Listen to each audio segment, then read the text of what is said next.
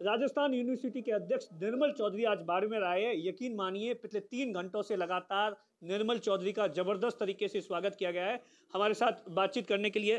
निर्मल, लगातार पिछले कई दिनों से लगातार आप बाड़मेर राजस्थान के विभिन्न हिस्सों में जाकर छात्र संघ कार्यालय का उद्घाटन कर रहे हैं। लेकिन जिस तरीके से सरकार ने पिछले बजट के अंदर जो घोषणाएँ की थी, शिक्षा का बहुत बुरा हाल है। चाहे स्कूल को कर्मोन्नत कर दिया जाता है तो वहाँ शिक्षक नहीं होते ऐसी घोषणाएँ ज़रूरी है क्या?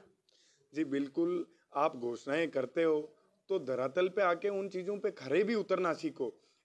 इन आम लोगों को तब फ़ायदा पहुंचेगा जब आप अपनी घोषणाओं पे धरातल पे आके और इनके भरोसे पे खरे उतरोगे, इनकी उम्मीद पे खरे उतरोगे, क्योंकि ये किसान परिवार के, मजदूर परिवारों के लोग बड़े भोले होते हैं।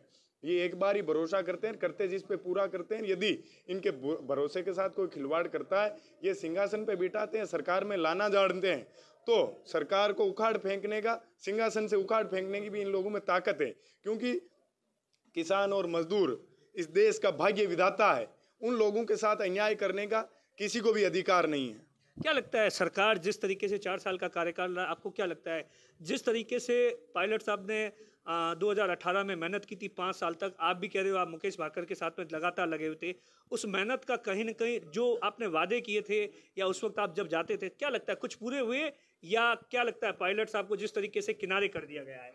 देखिए मेहनत को कोई दरकिरार नहीं कर सकता।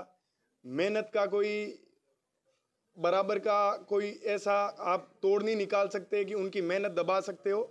जिस भी तरीके से आप लोग किसी के साथ यदि अन्याय करते हो तो एक ना एक दिन आके और न्याय होता है और मेहनत करने वाले की जीत होती है हमेशा।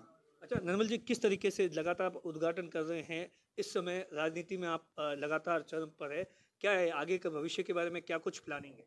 मैं छात्र शक्ति के लिए इनके भरोसे पे इनकी उम्मीद पे कार्य करने का पूर्ण प्रयास कर रहा हूँ।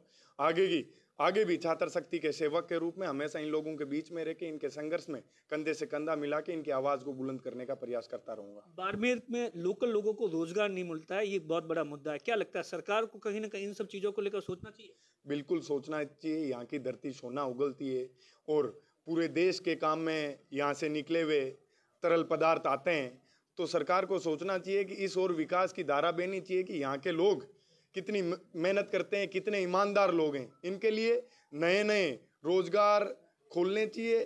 धरातल पे आके कहीं ना कहीं किसान और मजदूर को, यहाँ के लोगों को मज़बूत करने के सरकार को प्रयास करने चाहिए और इस प्रकार के मुद्दे उन लोगों के सामने रहते हैं, पर वो दरकिनार करते रहते हैं। 2023 के लिए क्या लग रहा है? आप, क्योंकि निर्दलीय जीते हैं, लेकिन आपका हमेशा देखा गया है कि पायलट के लिए आप समर्थन करते हैं।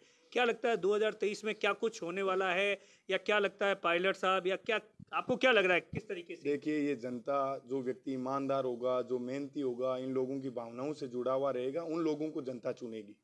क्या लगता है पायलट साहब के बारे में आपने अभी हाल ही के अंदर जयपुर के अंदर एक बड़ी रैली भी करवाई थी उनका क्रेज है? जी जनता पसंद करती है जनता उन लोगों उन लोगों को सबको अच्छा चाहती है जो अच्छा कार्य करते हैं उन लोगों के सपनों के बारे में सोचते हैं। उन लोग उनको जनता कभी दरकिनार नहीं करती है ये आप लोगों के सामने है सब जनता देखती है ये चीज़ें।